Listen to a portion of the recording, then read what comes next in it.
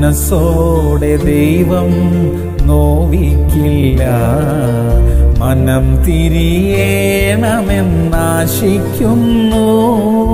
വീണുപോയെന്നാൽ എഴുന്നേൽക്കുവാൻ താങ്ങുമാവൻ കരം കാണുക നീ.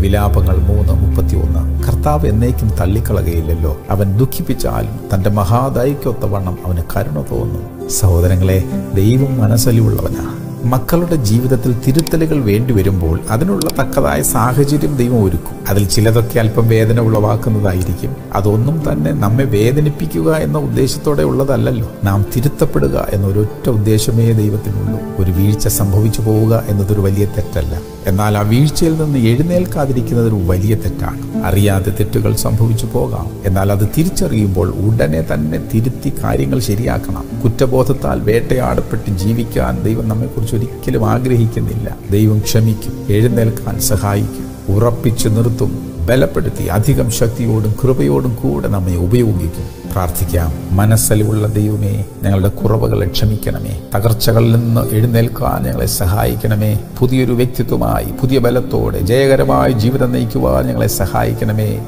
യേശു നാമത്തിൽ തന്നെ. അമേൻ അമേൻ ആമേൻ.